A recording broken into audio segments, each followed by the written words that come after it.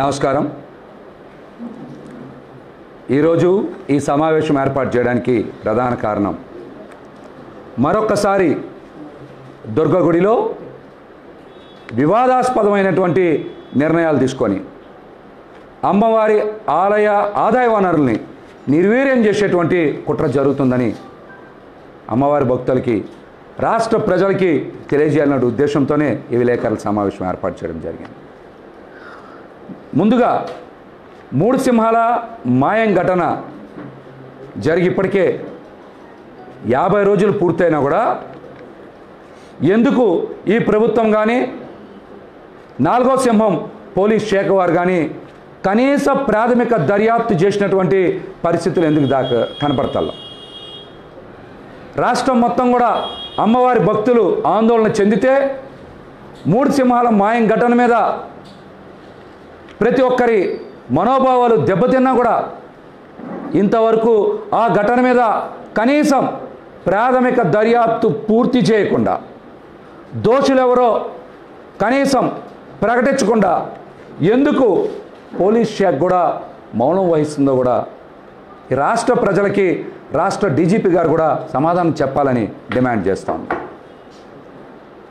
సమాధానం చెప్పాలని కూడా డిమాండ్ చేస్తూ ఉన్నాం. దీనిలో అనేక రకమైనటువంటి భద్రతాపరమైనటువంటి లోపాలు ఉన్నాయని అక్కడ ఉండేటువంటి మ్యాక్స్ సెక్యూరిటీ సంస్థ యొక్క వైఫల్యం ఉందని వారు సరైనటువంటి భద్రత నిఘా ఏర్పాటు చేయలేకపోయారని సాక్షాత్తు దేవాదాయ శాఖ మంత్రి గారే విలేకరుల సమావేశం పెట్టి ఆ సంస్థ యొక్క పనితీరుని ఎండగట్టినటువంటి దేవాదాయ శాఖ మంత్రి గారు. ఈ రోజున అదే మ్యాక్స్ సెక్యూరిటీకి మరల టెండర్ ఖరారు చేయమని రికమెండ్ చేయడం ఎంతవరకు సబబో కూడా దేవాదాయ శాఖ మంత్రి గారు వెల్లంపల్లి శ్రీనివాస్ గారు సమాధానం చెప్పాలి. దీంతో పాటుగా ఈవో సురేష్ బాబు గారి ఆగడాలు రోజు రోజుకి కూడా హద్దు మీరిపోతూ ఉన్నాయి. ఇది కేవలం దేవాదాయ శాఖ మంత్రి వెల్లంపల్లి శ్రీనివాస్ గారి ప్రోద్బలంతో అండతో మాత్రమే ఆయన ఇంత దారుణంగా రెచ్చిపోతూ ఉన్నారు. ఎందుకంటే రెండు వేల పంతొమ్మిది ఇరవై సంవత్సరానికి దేవాదాయ శాఖ నిబంధనల ప్రకారం అమ్మవారి ఆలయంలో అన్ని మినహాయింపులు పోను. నికర ఆదాయం కేవలం నలభై తొమ్మిది కోట్ల రూపాయలు మాత్రమే ఉంది. అన్ని మినహాయింపులు పోను. దేవాదాయ శాఖ నిబంధనల ప్రకారం నలభై తొమ్మిది కోట్ల రూపాయలు మాత్రమే ఉంది. దీని మీద దేవాదాయ శాఖకి వీరు చెల్లించాల్సినటువంటి పన్ను పది కోట్ల రూపాయలు. కానీ ఈవో సురేష్ బాబుకి అమ్మవారి ఫిక్స్డ్ డిపాజిట్స్ మీద కన్నుబడింది ఏదో రకంగా ఆ డిపాజిట్స్ని విత్డ్రా చేయాలి. కాంట్రాక్టర్లకి ఏదో ఒక పని రూపాన అవి అప్పచెప్పాలి తద్వారా ఫిక్స్డ్ డిపాజిట్స్ ద్వారా పెద్ద ఎత్తున తన జేబీ నింపుకోవాలనేటువంటి కుట్రలో భాగంగానే ఈ రోజున ఎండోమెంట్ శాఖ అధికారులు ఆడిట్ చేసిన తర్వాత నలభై తొమ్మిది కోట్ల రూపాయలుగా నికర ఆదాయాన్ని తేలిస్తే సురేష్ బాబు గారు దాన్ని ఎనభై ఐదు కోట్లుగా చూపిస్తూ ఉన్నారు.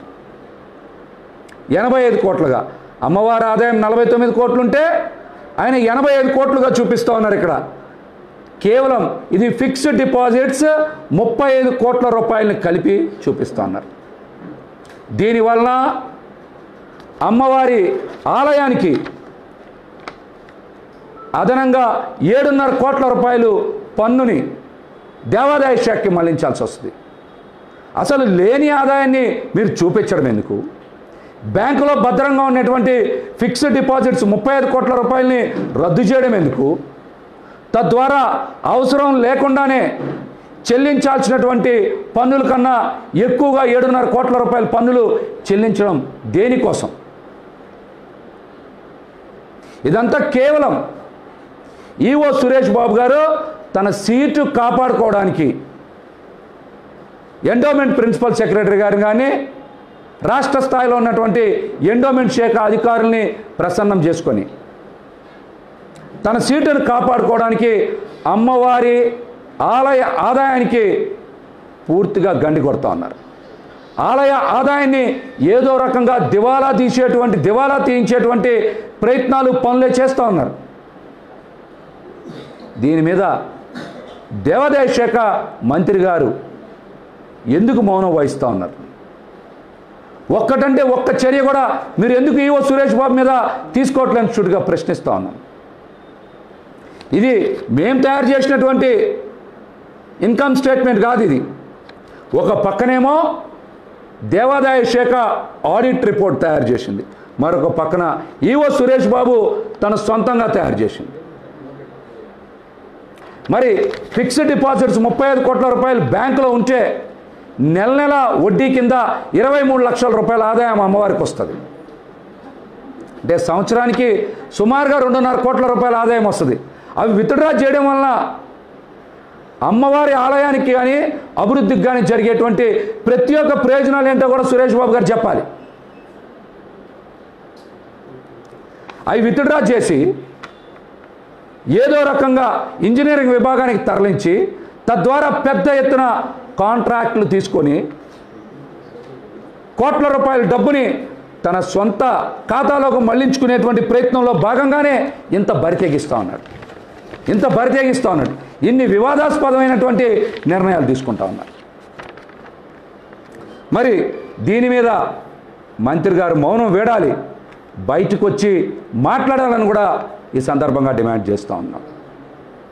అదేవిధంగా మేము దసరా ఉత్సవాల్లో ఎవరిని ఇబ్బంది పెట్టకూడదు అనేటువంటి ఉద్దేశంతోనే పాలక మండలి చైర్మన్ గారి దగ్గరికి వెళ్ళి శానిటేషన్ కాంట్రాక్ట్కి వీరు దొంగ అగ్రిమెంట్ రాశారని చెప్పి పాలక మండలి చైర్మన్ సోమినాయుడు గారికి కూడా వినతిపత్రం ఇచ్చా.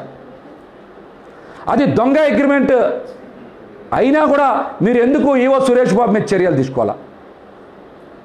ఒకవేళ మేము తప్పుడు పత్రాలు సమర్పిస్తే మా మీద కేసు పెట్టాల్సింది. సురేష్ బాబు రాసింది దొంగ అగ్రిమెంట్ అయితే అతని మీద చర్యలు తీసుకోవాల్సింది క్రిమినల్ చర్యలు తీసుకోవాల్సింది ఎవరి మీద అయినా సరే. మీరు ఇంతవరకు ఎందుకు స్పందించాల? మరలా వారు కోర్టుకి వెళ్ళేటువంటి అవకాశం కల్పించారు. ఆ కేఎల్ టెక్నికల్ సర్వీసెస్ వాళ్ళకే కాంట్రాక్ట్ వచ్చేలాగా మళ్ళీ తెర వెనక ప్రయత్నాలు చేస్తూ ఉన్నారు.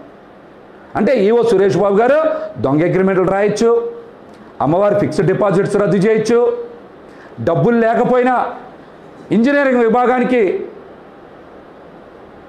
ఏడాది కేవలం కరోనాకు ముందు కూడా ప్రతి ఏడాది కేవలం పది పన్నెండు కోట్ల రూపాయలు మాత్రమే ఇంజనీరింగ్ విభాగానికి శాంక్షన్ చేస్తే కరోనా లాక్డౌన్ సమయంలో సమయంలో అమ్మవారి ఆదాయం గణనీయంగా పడిపోయినాయి.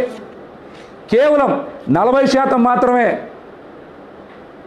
ఆదాయం వస్తున్నటువంటి ఈ తరుణంలో పది పన్నెండు కోట్ల రూపాయలు తగ్గించి ఐదారు కోట్ల రూపాయలు మాత్రమే ఇంజనీరింగ్ విభాగానికి శాంక్షన్ చేయాల్సి ఉండగా ఇరవై కోట్ల రూపాయల పనులు మీరు ఏ విధంగా చెప్పారు?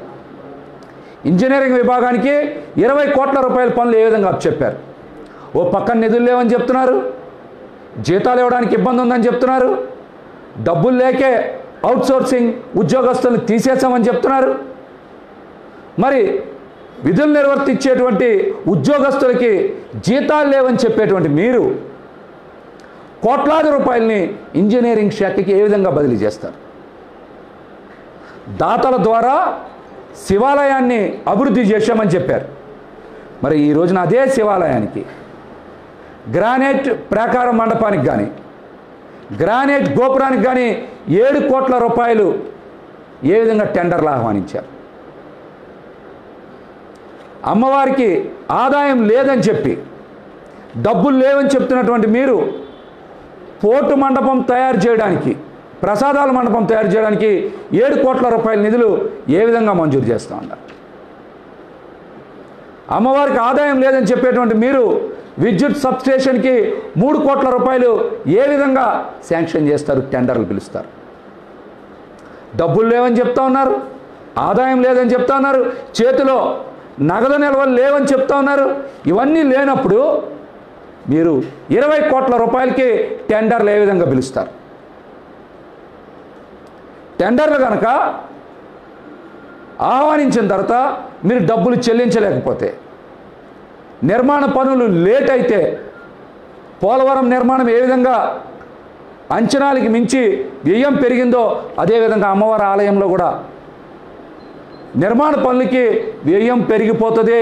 తద్వారా అమ్మవారి ఆలయానికి పెద్ద ఎత్తున నష్టం కూడా వాళ్ళేటువంటి ప్రమాదం ఉంది. ఇవన్నింటినీ ఎందుకు దేవాదాయ శాఖ మంత్రి నియంత్రించట్లా? పాలక మండలి చైర్మన్ గారు కూడా ఎందుకు దీని మీద యాక్షన్ తీసుకోవట్లేదని సూటిగా ప్రశ్నిస్తాం కేవలం జగన్మోహన్ రెడ్డి గారు నోట్లోంచి కూడా రాల మాట. పాలక మండలి చైర్మన్ ద్వారా ప్రకటన జారీ చేశారు. డెబ్బై కోట్ల రూపాయల నిధులు అమ్మవారి ఆలయానికే మంజూరు చేస్తామని. మరి సీఎం గారు వచ్చి ఈ రోజుకి పదిహేను రోజులైంది. ఇప్పటి వరకు ఆ డెబ్బై కోట్లకు సంబంధించి నోటి మాటే కానీ ఒక్క ప్రభుత్వ పత్రమైన జారీ అయిందా? ఈ రాష్ట్ర ప్రభుత్వం దగ్గర నుంచి ఒక్క జీవో అయినా జారీ అయిందా? జారీ అవ్వకుండా మీరు ఏ విధంగా టెండర్లు పిలుస్తారు? ఓ పక్కనేమో ప్రభుత్వం డెబ్బై కోట్ల రూపాయలు ఇస్తుందని చెప్పి ముఖ్యమంత్రి గారు చెప్పారని పాలక మండలి వారు చెప్తా ఉన్నారు. మరొక పక్క నుంచి ఈవో సురేష్ బాబు గారు లేని ఆదాయాన్ని ఫిక్స్డ్ డిపాజిట్లతో కలిపి చూపించి ప్రతి ఏడాది చెల్లించాల్సిన దానికన్నా అదనంగా ఏడు కోట్ల అరవై రెండు లక్షల రూపాయలు చెల్లిస్తూ ఉన్నారంటే మీరు అమ్మవారి ఆలయానికి నిధులు మంజూరు చేసేటువంటి ప్రయత్నం చేస్తారా? లేకపోతే అమ్మవారి ఆలయంలో ఉండేటువంటి నిధుల్ని కొల్లగొట్టే ప్రయత్నం ఈ రాష్ట్ర ప్రభుత్వం కానీ దేవాదాయ శాఖ కానీ చేస్తుందో? ప్రజలకు సమాధానం చెప్పాల్సినటువంటి పరిస్థితి. ప్రజలకి సమాధానం చెప్పాల్సినటువంటి పరిస్థితి. దీని మీద కూడా మంత్రి గారు స్పందించరు. దీని మీద కూడా మంత్రి గారు మౌనం వహిస్తారు. ఈవో సురేష్ బాబు గారు అంటే ఎందుకనో బాగా ప్రేమ. గతంలో కూడా చెప్పా ఆయన ఈ పోస్ట్ కొనుక్కొని వచ్చాడు. ఒక కోటి రూపాయలు ఇచ్చారు. అందుకనే అమ్మవారి ఆలయాన్ని ఇష్టానుసారం దోచుకుంటా ఉన్నాడు. అందుకనే మంత్రి గారు మౌనం వహిస్తూ ఉన్నారు. ఆ దోచుకున్న దాంట్లో మంత్రి గారికి కూడా వాటా ఉండబట్టే ఇన్ని అక్రమాలు చేస్తున్నా ఒకటంటే ఒక చర్య కూడా తీసుకోవాలా? ఫిక్స్డ్ డిపాజిట్ రద్దు చేసినా కూడా మీరు ప్రశ్నించరా? మరో పక్కన కాంట్రాక్ట్స్ అన్నీ కూడా టెండర్లు పిలవాలని మేము ఒత్తిడి చేశాం. ఎండోమెంట్ కమిషనర్ గారు ఉత్తర్వులు ఇచ్చారు. టెండర్లు ఓపెన్ చేశారు. అది కూడా అనేక సార్లు మేము డిమాండ్ చేస్తే మీడియా సహకరించినందువల్ల ఒత్తిడి తెచ్చినందువల్ల ఆ టెండర్లు ఓపెన్ చేశారు. లేకపోతే ఆ మూడు టెండర్లు కూడా నిన్న కూడా ఓపెన్ చేసేవాళ్ళు కాదు. ఆ మూడు టెండర్లు కూడా మరల దేవాదాయ శాఖ మంత్రి ప్రధాన అనుచరుడు పాప ఆయన చాలా జాగ్రత్తగా చూసుకుంటాడు. బుజ్జిగారని ఆయన జాగ్రత్తగా చూసుకుంటాడు. ఆయన మరలా తిరిగి సెక్యూరిటీ టెండర్ని అదే మ్యాక్స్కి మంత్రి గారు ఎవరైతే వీళ్ళు పనికిరారని చెప్పారో మళ్ళీ అదే మ్యాక్స్ సెక్యూరిటీ సంస్థకి ఇవ్వడానికి ఈఓ గారి బినామీ సంస్థ శానిటరీ టెండర్ని తిరిగి ఆ కేఎల్ టెక్నికల్స్ వాళ్ళకి ఇవ్వడానికి బుజ్జిగారు ఒక ప్రతిపాదన పెట్టారు ఈ మధ్యన. నెల నెల మీరు డబ్బులు ఇస్తూ ఉన్నారు మాకు. అవి మాకు కుదరదు ఇక్కడి నుంచి. మంత్రి గారి పదవి ఉంటుందో ఉండదో అని మాకే అనుమానంగా ఉంది. ప్రతి నెల చెల్లింపులు వద్దు మాకు. మొత్తం మాకు మీరు మ్యాక్స్ సెక్యూరిటీ వాళ్ళు అలా కేఎల్ టెక్నికల్స్ వాళ్ళు ఇద్దరూ కలిసి చెరొక పాతి లక్షలు యాభై లక్షలు మాకు ఇప్పుడే ఇచ్చేయండి. ఇచ్చేస్తే రెండు టెండర్లు మీకే ఖరారు చేస్తామని ప్రతిపాదన పెట్టారు దానికి కూడా ఈ రెండు సంస్థలు ఇప్పటికే అంగీకారం తెలిపాయంట. ఎందుకంటే పద్దెనిమిది నెలలు టెండర్లు ఉంటాయి మంత్రి గారు పద్దెనిమిది నెలలు ఉంటారో ఉంటారో అని వాళ్ళకి తెలిసిపోయింది. ఓ మూడు నాలుగు నెలల్లో మంత్రి పదవి పోతుందని చెప్పి ప్రతి నెల మాకు ఇవ్వద్దు మొన్నటి వరకు అంటే ప్రతి నెల ఇచ్చారు. ఇక నుంచి ప్రతి నెల తీసుకోం మేము. ఇప్పుడు టెండర్ ఖరారు చేస్తాం. మాకు ఈ పద్దెనిమిది నెలలకు సంబంధించినటువంటి నెంబర్ టూ మీ కాంట్రాక్ట్ అప్ చెప్పినందుకు మొత్తం మాకే ముందే ఇచ్చేయాలని బుజ్జిగారు ప్రతిపాదన పెట్టారు. ఆయన కూడా పాపం బాగా పేదోడు. బాగా పేదోడు ఆయన. ఎంత పేదోడంటే ఈ పద్దెనిమిది నెలల కాలంలో వ్యాపారాలు పోయినాయి అందరికీ. డబ్బులు లేవని బాధపడుతూ ఉన్నారు. అటువంటి టైంలో ఆయన ఒక ప్రైమ్ లొకాలిటీలో లోటస్ ల్యాండ్ మార్క్లో నాలుగు కోట్ల రూపాయలతో ఇల్లు కడతాను మంత్రి గారి ప్రధాన అనుచరుడే కరోనా లాంటి టైంలో వ్యాపారాలు లేక అల్లాడుతూ ఉంటే అవినీతి సొమ్ముతో నాలుగు కోట్లతో ఇల్లు కట్టారంటే మంత్రి గారు అవినీతి సొమ్ము ఇంకెంత ఉంటుందో అర్థం చేసుకోండి. మంత్రి గారు ఇంకెంత అవినీతి చేశారో అర్థం చేసుకో. దీని మీద సీఎం గారు మాట్లాడరు. సీఎం ఆఫీస్ మాట్లాడదు. కృష్ణా జిల్లాలో ఉన్న మంత్రులు మాట్లాడరు. ఎవ్వరు కూడా మాట్లాడరు. అందిన కాడికి దోచుకోవడమే. అందిన కాడికి దోచుకోవడమే. దీని మీద వైఎస్ఆర్సీపీ శ్రేణులు కూడా పెద విరుస్తూ ఉన్నాయి. అరే మా పార్టీ కార్యకర్త కాదు. మా పార్టీ జెండా పట్టుకోవాలా? ఏ రోజు మాకు కనపడలా? ఇదేంటి మేము ఎక్కడన్నా ఏదైనా చిన్న పని చేసి ఐదు వేలు పదివేలు తీసుకుంటేనే పెద్ద ఎత్తున మా మీద దుమారం లేగుతుంది. అటువంటిది మంత్రి గారు ప్రధాన అనుచరుడు లోటస్ ల్యాండ్ మార్క్ దాని దాంట్లో నాలుగు కోట్ల రూపాయలతో ఆయన ఇల్లు కడితే మంత్రి గారు అవినీతి ఆదాయం ఇంకెంత ఉంటుందో అని వాళ్ళందరూ కూడా ఆశ్చర్యపోతూ ఉన్నారు. దీని మీద కూడా ఈ మధ్య వైఎస్ఆర్సీపీ రాష్ట్ర నాయకత్వం దృష్టి పెట్టిందని మాకు కూడా కొంత సమాచారం ఉంది. అందుకనే పదవి ఎప్పుడు ఊడిపోద్దని అందిన కాడికి దోచుకుంటా ఉన్నారు. దీని మీద కూడా ప్రభుత్వం చర్యలు తీసుకోవాలి. తీసుకోకపోతే మాత్రం ఈసారి పెద్ద ఎత్తున ఉద్యమిస్తాం. ఈసారి పెద్ద ఎత్తున ఉద్యమిస్తామని కూడా ఈ రాష్ట్ర ప్రభుత్వాన్ని హెచ్చరిస్తూ ఉన్నాం. మరి దేవాదాయ శాఖ మంత్రి గారికి బీసీలు అంటే చాలా చిన్న చూపు ఆయనకి. బీసీలు అంటే చిన్న చూపు. అందులో పశ్చిమ నియోజకవర్గంలో ఉండేటువంటి బీసీలు అంటే మరీ చిన్న చూపు ఆయనకి. చాలామందికి పదవులు వచ్చినాయి. మరి ఆ పదవుల వల్ల ఏం ఉపయోగం ఉంటుందో లేదో అది అప్రస్తుతం కానీ తర్వాత మాట్లాడతాం మొన్న కూడా మాట్లాడు. మరి వాళ్ళందరికీ సన్మానాలు చేశారు. వాళ్ళందరికీ శాలువాలు వేశారు. వేస్తే ఆ కార్యక్రమానికి మాత్రం ఆయన అటెండ్ కాల. ఆ కార్యక్రమానికి మాత్రం ఆయనకి అటెండ్ అవ్వడానికి తీరిక లేదు. కానీ ఆయనకి సంబంధించినటువంటి సన్నిహితులు పుట్టినరోజులు చేసుకున్నా షష్టిపూర్తులు పూర్తులు చేసుకున్నా అక్కడికి వెళ్ళి కనబడతారు ఆయన. అక్కడికి వెళ్ళి కనబడతారు ఆశీర్వదిస్తారు కౌగిలించుకుంటారు. ఆయనకి అంత ప్రేమ. మరి బీసీలకు మాత్రం సన్మానం జరిగేటప్పుడు నువ్వు ఎందుకు వెళ్ళాలా? ఇది కూడా మూడు రోజుల కిందటనే జరిగింది. నీ ప్రైవేటు కార్యక్రమాలకు మాత్రం మీకు వెళ్ళడానికి తీరిక ఓపిక ఉంటే బీసీలకు మాత్రం సన్మానం చేయాలంటే నీకు ఎందుకంత అసహ్యం? ఎందుకంత చిన్న చూపని షూట్గా ప్రశ్నిస్తాం. బీసీలు కూడా పశ్చిమ నియోజకవర్గంలో ఉండేటువంటి బీసీలు కూడా ఈ విషయాన్ని గమనించాలి. మీరు గమనించాలి. మంత్రి గారికి బీసీలు అంటే చిన్న చూపని. కేవలం బీసీల మధ్య చిచ్చులు పెడతాం. ఎస్సీల మధ్య చిచ్చులు పెడతాం. ముస్లింల మధ్య చిచ్చులు పెడతాం. ఆయా కులాల మధ్య చిచ్చులు పెట్టి కేవలం ఆయన ఒక్కడు మాత్రమే లబ్ధి పొందాలనేటువంటి కుట్రకోణాన్ని మీరందరూ కూడా గ్రహించాలని విజ్ఞప్తి చేస్తా ఉన్నా. ఈవో సురేష్ బాబు గారి మీద పాలక మండలి చైర్మన్ అదేవిధంగా దేవాదాయ శాఖ మంత్రి ఈ దొంగ ఆడిట్ మీద దొంగ అగ్రిమెంట్ మీద మీరు చర్యలు తీసుకోకపోతే మీరు కూడా ఫోర్ ట్వంటీ గాళ్ళని సపోర్ట్ చేసినట్టు అని ఈ సందర్భంగా తెలియజేస్తాను ఫోర్ ట్వంటీ మనుషుల్ని ఫోర్ ట్వంటీ వ్యవహారాల్ని మీరు సపోర్ట్ చేసినట్టే అని ఈ సందర్భంగా తెలియజేస్తున్నా. మీరు తక్షణమే అమ్మవారి ఫిక్స్డ్ డిపాజిట్ని విత్డ్రా చేసే అవకాశం కల్పించిన ఫిక్స్డ్ డిపాజిట్లు ముట్టుకున్న అమ్మవారి భక్తుల్ని జనసేన పార్టీతో కలుపుకొని పెద్ద ఎత్తున ఉద్యమిస్తామని కూడా హెచ్చరిస్తాం.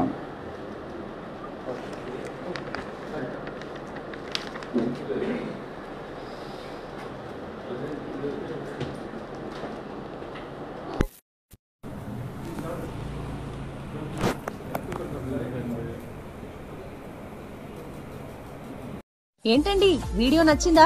అయితే ఓ లైక్ వేసుకోండి. లేదంటే ఓ కామెంట్ చేయండి. ఎప్పటికప్పుడు మా వీడియోస్ చూడాలంటే సబ్స్క్రైబ్ చేసుకోండి.